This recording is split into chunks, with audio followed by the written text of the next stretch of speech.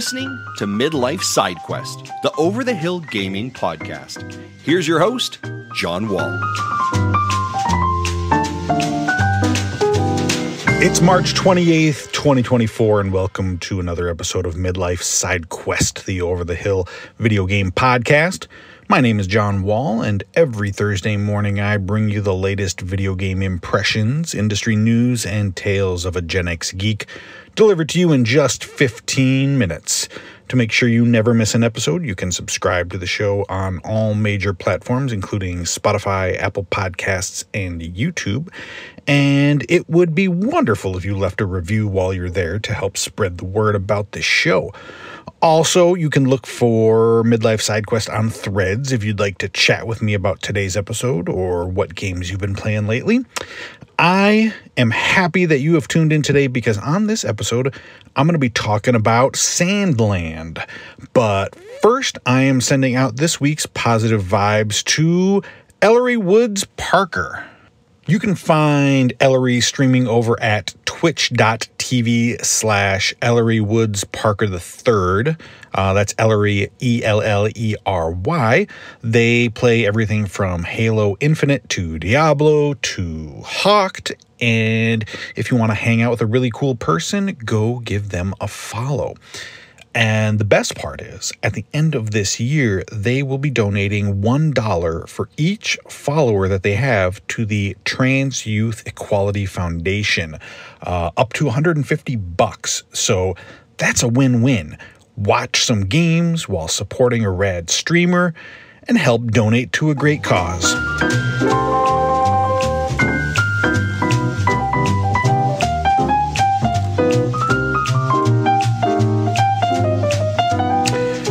On March 1st, we lost an absolute icon in the world of manga, anime, and video games. It's hard to fathom the cultural impact that Akira Toriyama had on the world. Uh, as an artist, he was responsible for the character design for things like Dragon Ball Z, Chrono Trigger, Dragon Quest, Tobal Number One, and a game that I talked about uh, on the show just a couple of months ago, Blue Dragon. When he passed away this month at the age of 68, he was still hard at work on lots of different projects, including both a video game and an animated adaptation of his 2000 manga manga Sand Land. Um, well, last week we got the debut of the show on Hulu, as well as the demo of the game, which will be arriving on April 24th. So I decided to check them both out. Starting with the show, it was actually released last year in Japan as a full length film, but for the Western release, they decided to break it up into six chapters. Um, plus, there's a bonus seventh episode as part of this release which wasn't part of that original film. It tells the story of Sheriff Rao, a lawman who is trying to keep order in a desert world where water is a rare and precious commodity, with lakes and rivers having dried up years ago. Meanwhile, the king of Sand Land hoards his own personal water supply, leaving the people to fight over what little bit of water they have access to. Uh, on the outskirts of town live the demons, uh, beings cast out by the rest of society who only go near humans when they need to steal water for their own survival. Rao, tired of seeing the people suffer under the greedy king's rule, teams up with one of those demons, uh, Beelzebub, the prince of fiends, to search for a mythical spring that will provide water to the people once again the pair, along with another demon named Thief, embark on a road trip adventure to find the spring and face off against bandits and the king's own royal army along the way. So that's the setup. Um, I don't, I don't consider myself really much of an anime guy anymore.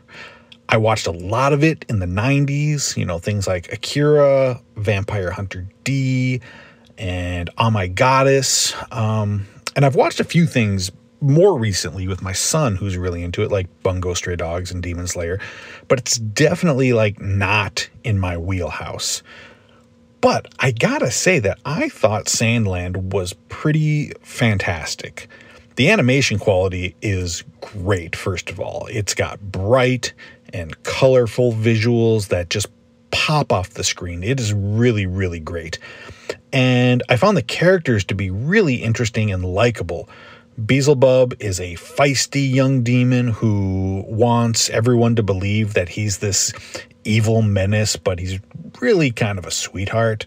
Um, Rao, as the grizzled old veteran, becomes like a father figure to him, uh, and he's got a really interesting backstory.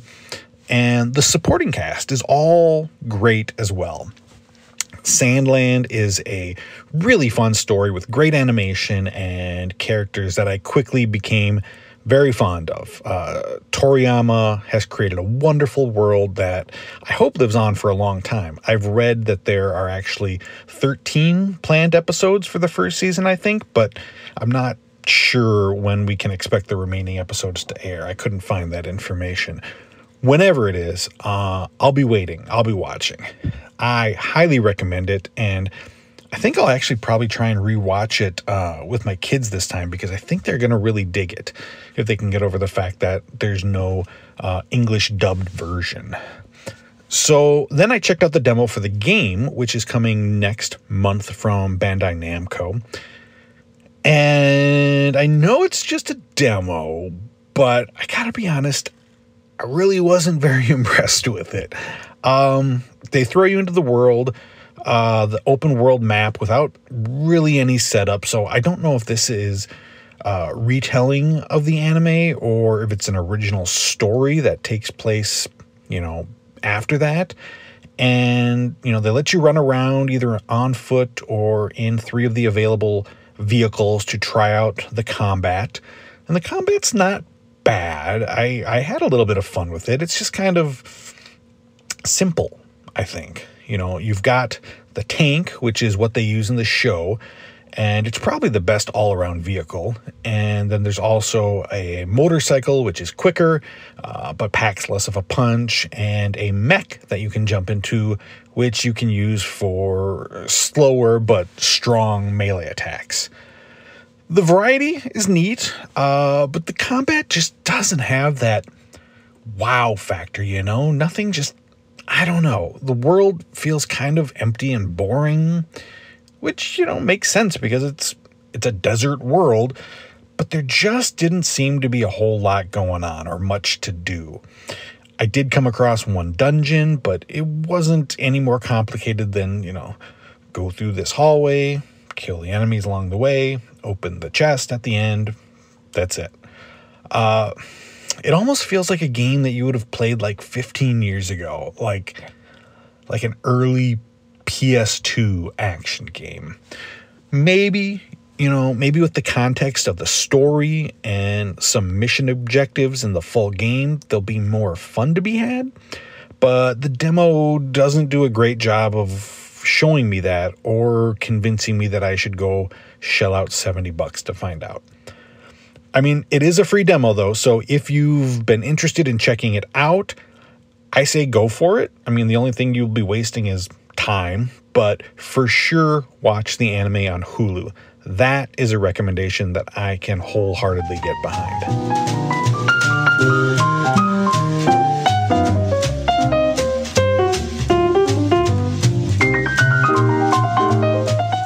This Sunday is the International Transgender Day of Visibility. So, first and foremost, I want to say to the transgender community that I see you, I love you, and I will continue to do what I can, however I can, to keep fighting for you and to see that you are treated with the love and the respect that you deserve.